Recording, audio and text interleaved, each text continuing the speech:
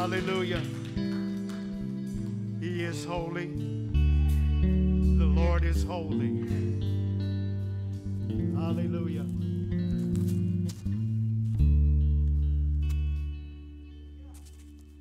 Thank you, team. We welcome you to Dove Church today. Thank you for tuning in, which, whichever social media outlet you're looking at us on. We appreciate your, your constant prayers, your, your giving to those that are partnering with us to make sure that we continue to come to you. We are, we are glad for you and we bless you today and ask God to, to, to send it back to you, pressed down, shaken together, and running over. And so we appreciate you and everything that you do. Keep praying for us as we will keep praying for you. Receive of us today. Receive of us today. This is all designed that you would get something from the Lord today. And as usual, we're going to start with our confession. Lifting up your Bible or your phone or your pad, wherever your information is, wherever your Bible is. Repeating after me this is my Bible. I am who it says I am. This book calls me an overcomer, and that's who I am. Today I shall be taught the infallible, unchanging Word of God. So my mind is alert, my heart is receptive as I gladly receive the Word today. I believe that faith comes by hearing, and hearing by the Word of God. Amen. Father, we thank you and we bless you and we honor you. Holy Spirit, you are welcome here. Stay with us, abide with us. Help us to speak the mind of God in this time and in this season. We thank you, God, that the word of our mouth and the meditation of our heart is acceptable in thy sight. Oh Lord, my strength and my redeemer. In Jesus' name, amen. Today we start what, I, what I'll call a short new sermon series, and it's, it's called Love Like Jesus. Love like Jesus. Love like Jesus. Lesson one. Love like Jesus.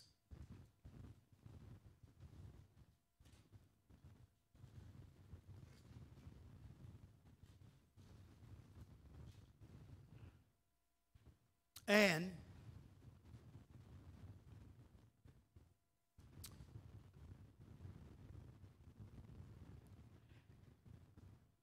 beginning statement that I want to make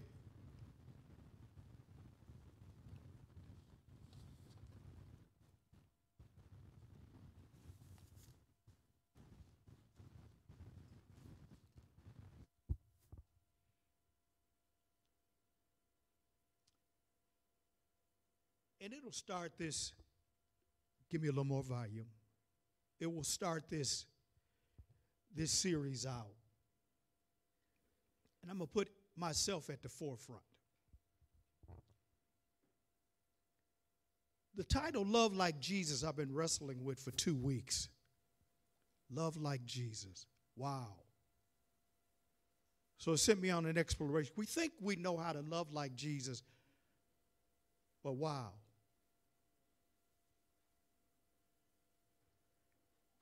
Because the truth is, I would rather be ill tempered, self centered. I'd rather be insensitive and pushy, have to have my own way. I don't want to give way to others. I want to go first sometime.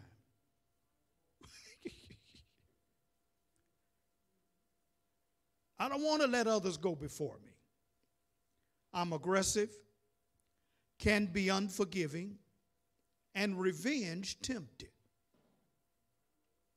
I can play the victim as if it's always someone else's fault. All these things characterize not only myself, but us. Us. So when it comes to loving like Jesus, it's quite the task. Come on. The bar is high. The truth is, in spite of being a high bar set by Jesus, we can do it.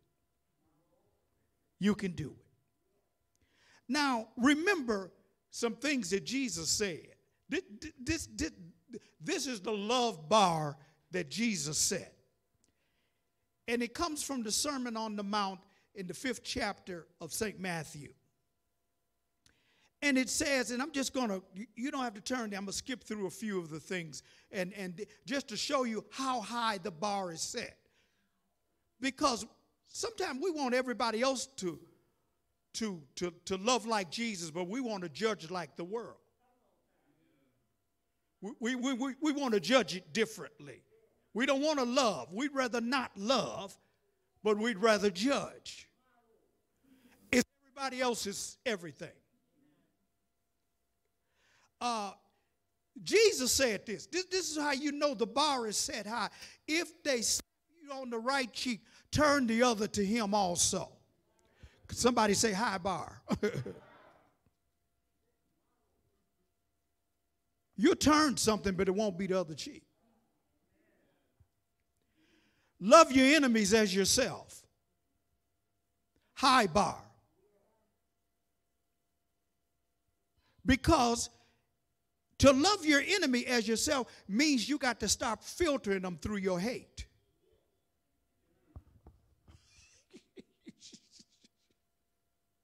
Woo, high bar. If someone wants to sue you and take your tunic, let him have your cloak. What? Uh, oh, you know the word. High bar. Bless those who curse you.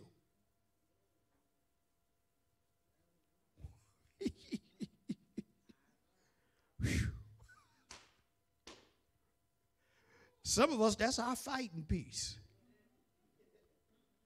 And don't add your mama on the end of it. Pray for those who spitefully use you. Oh, Lord. That's a very high bar. Spitefully use you. They'll be spiteful to your face. But Jesus said, Love them anyhow. And this is how we know that Jesus' filter for loving is better than ours. Uh, uh, and he further challenges us from Matthew 5 46. Get that. And, and, and, and, and, and while he's challenging us, he's also hitting us because we're hypocritical in the way that we love. How are we hypocritical? He said, For if you love those who love you, what reward have you? It's easy to love people you like that meet your need, that give to you, that help you, that do what you think they ought to do. But if they don't do any of those things, are they capable of the same level of love you're supposed to give to them? Hi, hi, hi, bye. Do not do not and then he says you think your loving that way is special he said do not even the tax collectors do the same don't the people in the world do the same thing? They love people that love them. High bar.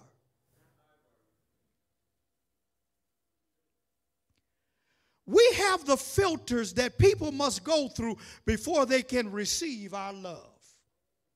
We filter it. You have to meet my standard to be in my presence. We look at them to judge them. We call it discernment, but we're when we want to be spiritual. I'm discerning. Why are you the only one in your discernment circle? you have discerned everybody away from you. Something about that ain't just ain't everything. Because you're filtering it through all your stuff. Jesus removes the filter. How did he remove it? John 13 34. John 13 34. And it says, I need to establish something different with you. He says, A new commandment I give to you that you love one another as I have loved you. He said, I'm establishing the bar. Love them like I'm loving you. How did he love you? Past your ills, past your shortcomings Pass your ill, pass your judgment of everybody else that's not like you. Pass, all, pass your bad habit, pass your ill temper, pass your, your cussing, pass your. He loved you Pass all of that. Love like I have loved you.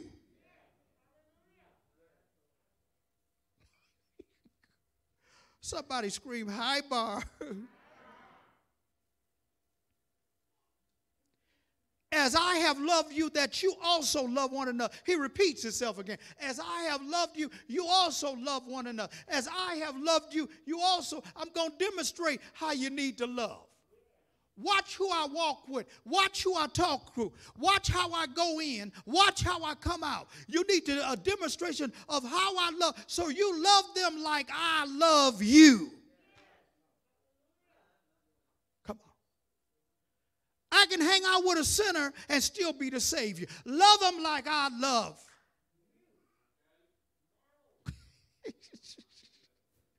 See, my stuff don't go on shaky ground because I'm with you. Because if I'm with somebody that's that's that's of another culture and and and and and and, and whatever, then then I'm the high one in the place, but I'm really the low one.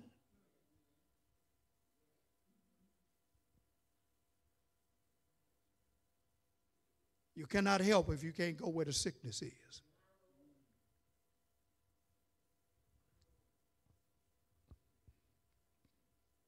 Well, that's the introduction. I'm only going to cover two today. If you want to love like Jesus, you've got to, number one, become mindful and less detached. Become mindful and less detached. Mindful of stuff around you. Open to see. Mindful, less detached. Less detached is stop treating everyone as if they're untouchable.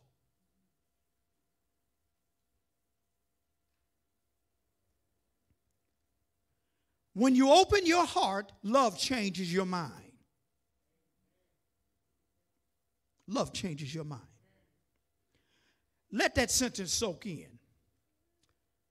Your mind can do an about face when it receives a charge from your heart. Sometimes your heart convicts you to do something that goes against everything you believe in order to help somebody or either not to make a movement towards somebody because in your heart you want to see a better outcome. So where you would want to judge it differently or operate differently your heart helps you to love better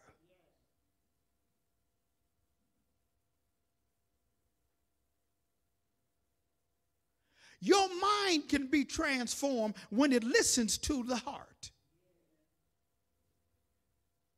Some things you overthink, and you get creative in your thinking. How much they hate me, and great was the hate of it.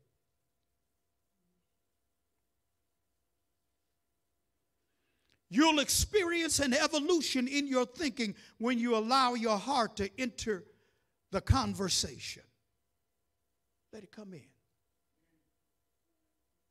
And for heart, I'm saying spirit. Let your spirit talk to you. It's what Paul was getting to when, when he said, when he gave Romans 12, 1 and 2. And I'm going to read it from the message because I like the way things were em- emphasized in it. He, and, and, and I know it says, I beseech you, therefore, brother, but in the message Bible, not on the screen. I'm going to read it to you. Uh, well, he has it now. So here's what I want you to do. The, the King James and New King James says, I beseech you. But it means, here's what I want you to do God helping you. Here's what I want you to do God helping you. Take your everyday, ordinary life, your sleeping, eating, going to work, and walking around life, and place it before God as an offering. Take your whole self and put your whole self on the altar as an offering. And in the words of my one of my ministers, it, it wasn't a dead offering, it's a live offering. An offering and the sacrifice need to stay up on the altar.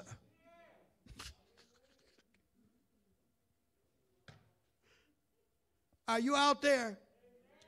And place it before God as an offering. Continuing the reading. Embracing what God does for you is the best thing you can do for Him.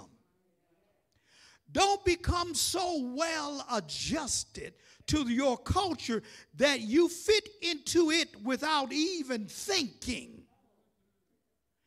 Instead, fix your attention on God. You'll be changed from the right place, from the inside out. Readily recognize what He wants from you and quickly respond to it. You don't have to pray about it, just respond. Unlike the culture around you, always dragging you down to its level of immaturity, God brings the best out of you, develop well formed maturity in you. If you hang with God, He'll make you, He'll grow you up, He'll mature you. Because if you hang out with the culture of this day, you will be immature. Your thinking will be immature. Your opinions will be immature. Your thought processes will be immature. While you're thinking you're all of that, you're immature. Why, why, why? You don't understand.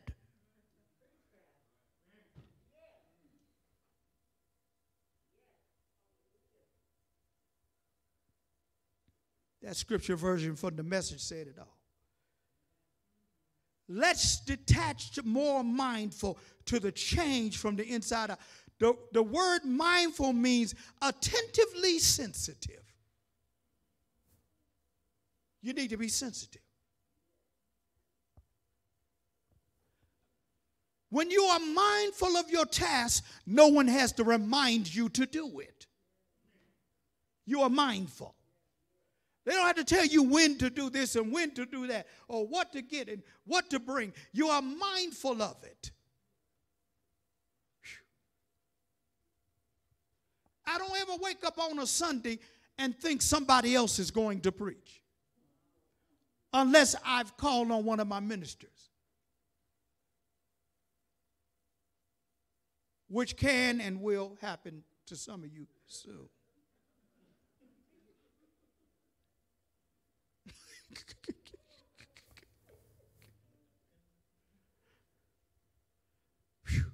Let them with ears hear what the Spirit is saying.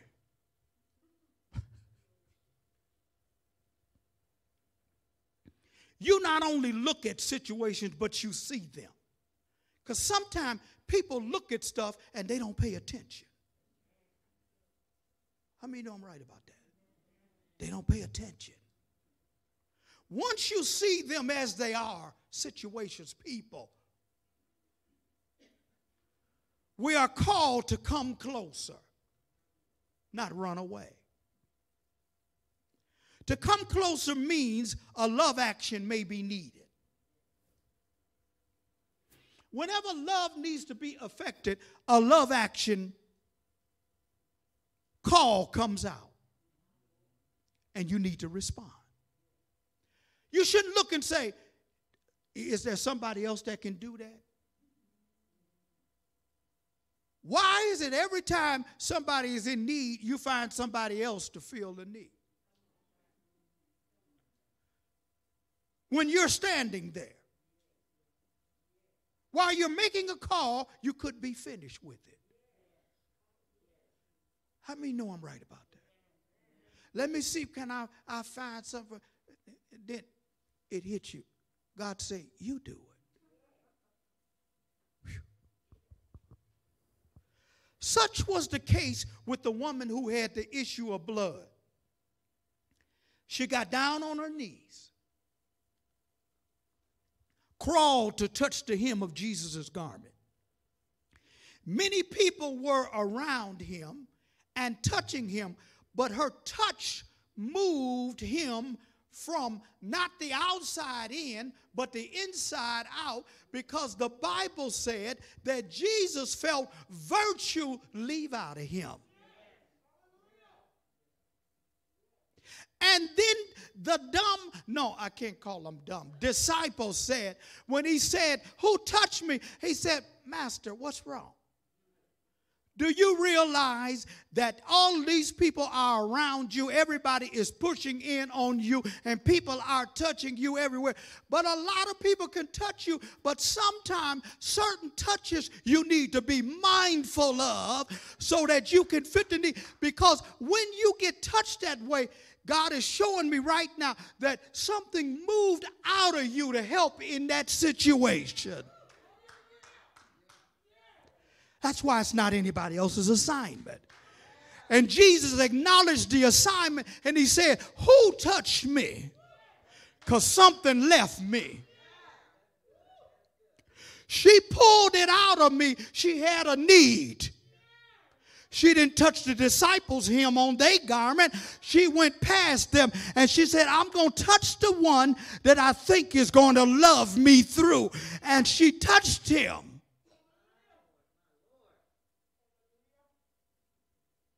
What are you saying, preacher? I'm saying that maybe before we pray for people, maybe before we speak in tongues over them, maybe before we pray a long, exhaustive prayer, maybe before we try to throw water on them and anoint them and all that stuff, maybe they pulled what they need out of us. We just need to, we just need to acknowledge it and rally with them and say, you, you touched me, didn't you? You got something from me. And then I can put the stamp on it and say, Your faith has made you. Are y'all hearing me? Not mine, but yours. What if they had blocked the way?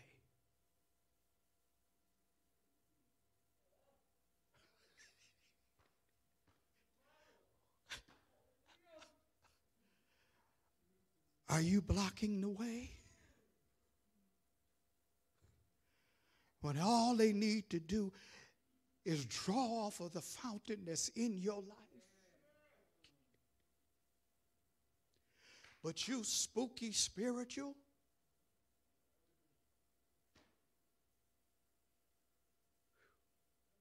salt is not good until it's out of the shaker. Oil is not good until the olive is pressed.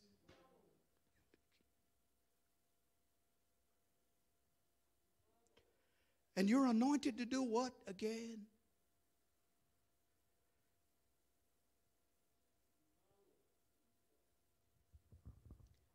What did she pull out of him? It's virtue. And I looked up virtue. It was goodness and strength. When you love like Jesus, you are full of goodness and strength. Come on. Are y'all out there? You bursting at the seam with goodness and strength. It's time for somebody to do like they, they do when they want some good old maple syrup. They need to st- stick a spigot in the side of the bark and tap it and let some of the sap run out. That's how you get maple syrup. Just burgeoning. You full of goodness and strength so that somebody can tap in and receive from you. That's loving like Jesus. Again, to love like Jesus, you must become more mindful and less detached. Number two, to, be, to love like Jesus, you must become more approachable.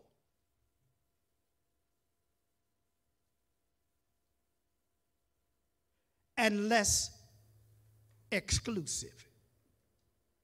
I know they may sound close, but we're, we're going to bring the distinction. You must become more approachable and less exclusive.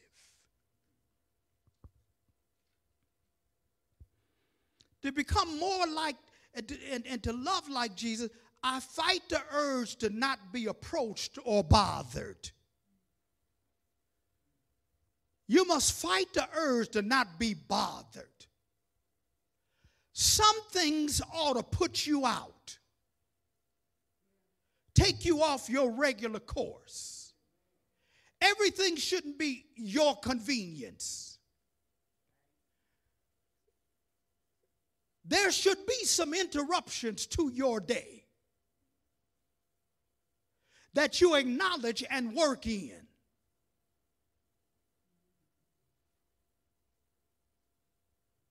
The worst thing you can be is inflexible.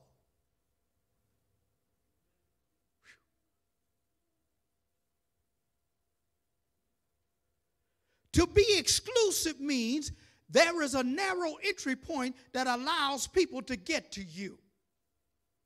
You're in, you're not. Yeah, no. And we do that in church. We got church gangs. See, I'm, I'm, I, I, I, I'm, I'm, I'm a minister and a preacher, and I know about preacher gangs.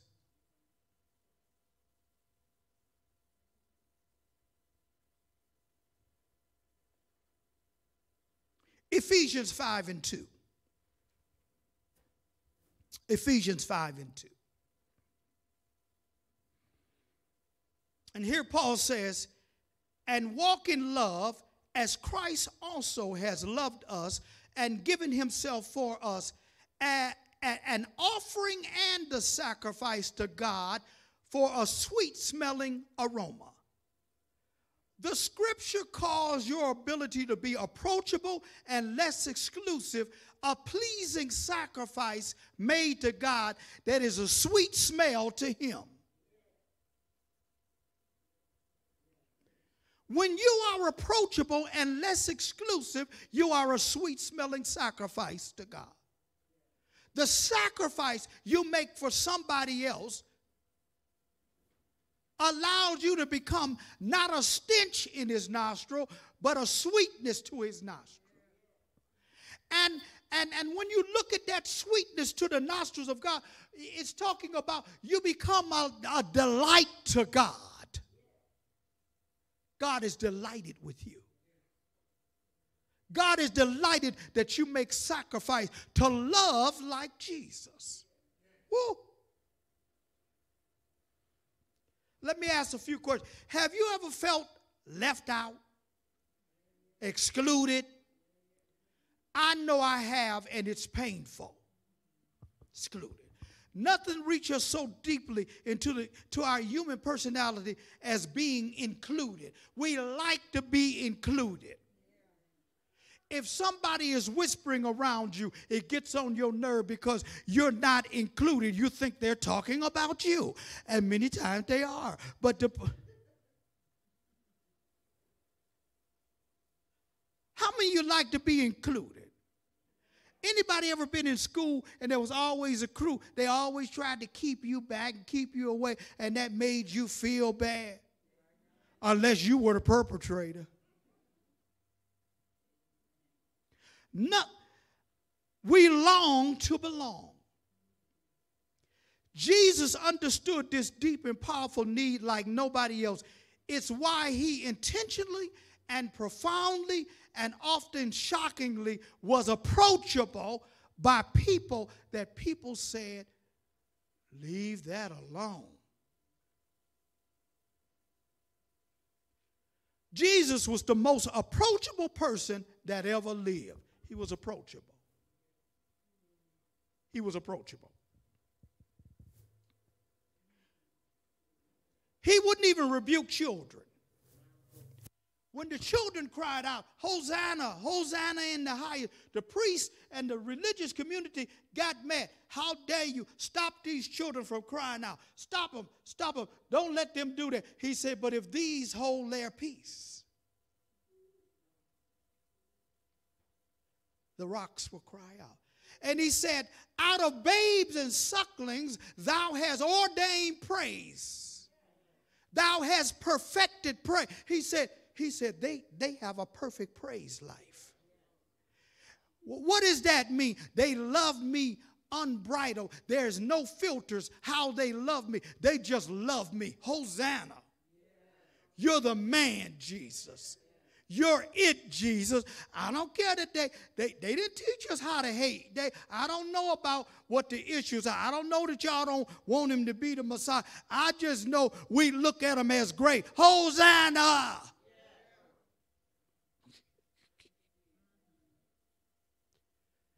Perfected praise. Jesus was tuned into outcasts people on the fringes, those who were the most likely to feel left out or excluded. The Gospels are abundantly clear. Jesus was accessible to anyone who felt undesirable or unwanted. Lepers, Gentiles, what they ran from, he ran to. Lepers, especially. Stay back, you unclean. And Jesus kept walking up to him. Come on. High bar. Love like Jesus loved. I'm not afraid to love you today. See, see, see, oh, we got it so mixed up. We, we love what's comfortable. But you're not loving till you love what's uncomfortable. That's the challenge. That's the work of love. Loving when it's uncomfortable. And they don't have to come through all the isms to be loved. You setting some kind of bar when, when, when you knee high to a filthy rag. For by grace you have been saved. That not according to yourself. It is the whew, of God. And you can't even brag about it. My God. Tax collectors, the poor, the persecuted, pagan, sinners. The one that washed him up and with her hair getting ready for the resurrection was a sinful woman. But he received her because there was a spiritual thing in what she was doing. He said, he said, what she is doing, she is doing for my next move. And then the religious one said, that's costly. Oh, God. The thief is always about the money. Somebody always saying, That's too much, preacher. But she's getting me ready for my burial. But further than that, she's getting me ready for my resurrection. So what goes in the grave will come out smelling sweet. A, a, a sacrifice with a delightful aroma to God. Up and on the move. Woo. But she shouldn't have touched him because she was unclean. No, we don't know where she came from before she got to Jesus. But when she cried and washed, because he was approachable and not exclusive.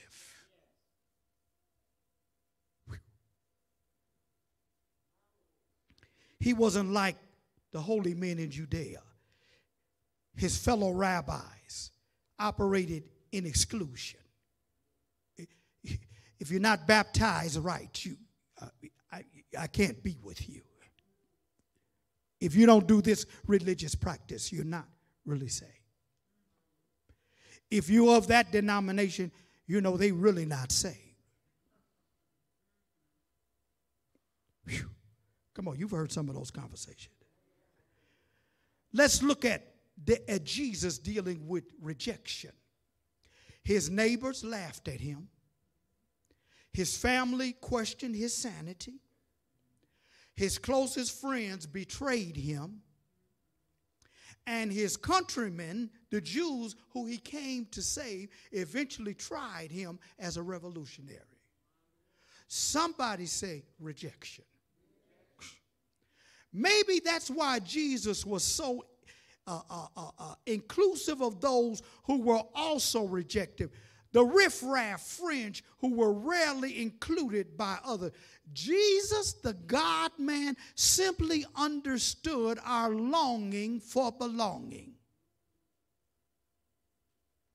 Jesus went out of his way to love the unloved. He didn't care what you look like. That's when you love like Jesus. If you want to love like Jesus, you can't size people up. And you say, we, we don't do that, Pastor. We don't do that. Well, we do. There are people that are asking for money on corners and stuff. We size them up. And this is the filter we carry them through. I'm not giving them so no money because Here's one A, they just too lazy to work. B, they going to use it for drugs. See if they're another nationality, I don't trust them anyhow. You carry people through them filters. Instead of letting the Holy Spirit say, give to that one. Uh, give to that one. Do you understand? Loving like Jesus. Because Jesus knows the heart. God knows the heart. Well, what are your filters or standards that must be met before you can show love to somebody? What is your filter? If you want to love like Jesus, you can't be exclusive. But how? How do we do this? Why do we do it? It comes down to pride. Pride is the poison of love, and humility is the antidote. Pride is the poison, but humility is the antidote. Humility shines a light into dark corners of our heart, exposing our self centeredness and our ill will. When we humble ourselves, it speaks to who we are. Mark 10 45 tells us what we came to do not to be served, but to serve. And then it says, let me read the whole thing. But even the Son of Man did not come to be served, but to serve and to give his life a ransom for many. He came to do something. And then the Apostle Paul added this focus last scripture for this teaching Philippians 2 and 4. Let each of you look out not only for his own interest, but also for the interest of others. Love like Jesus. Love like Jesus. Love like Jesus. Love like Jesus. Blessings to you today.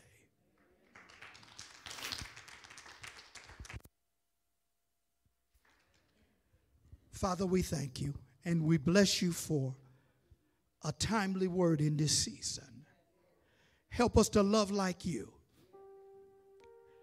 Help us to dismantle filters and operate where we need to operate in you.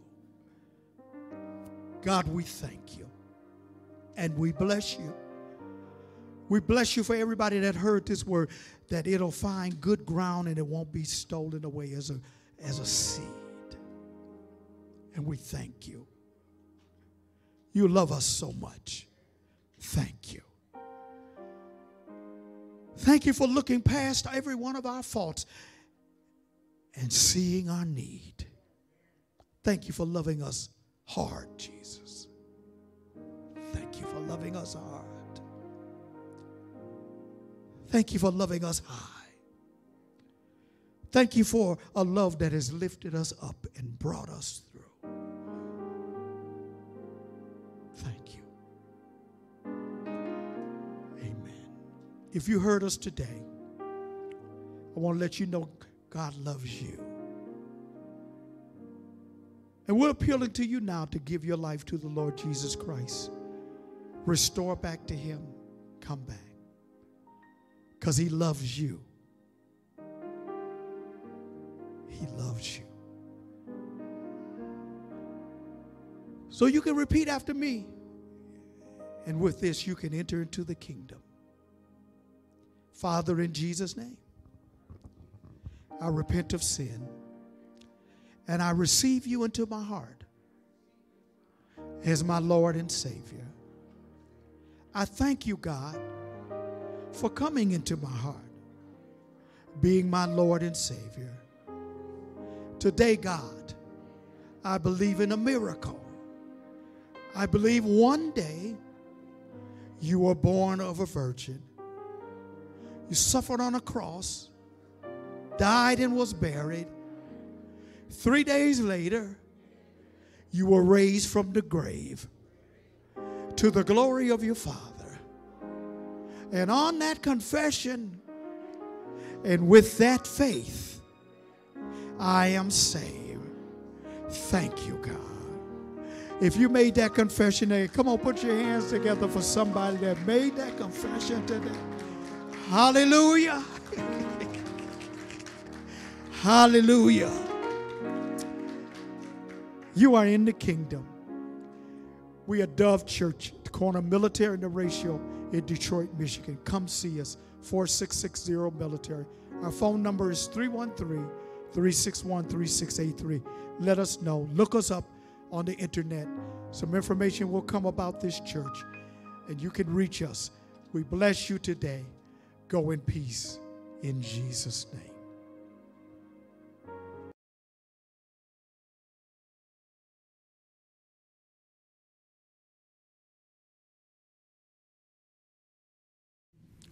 Praise the Lord again. To all of our listeners, we thank God for you and we encourage your financial support of this ministry. We are here to bless you and know that the Lord will bless your giving. You can use PayPal by going to our website at dovechurch.org slash giving, which takes you to our PayPal page. We appreciate your sharing this time with us today. God bless you.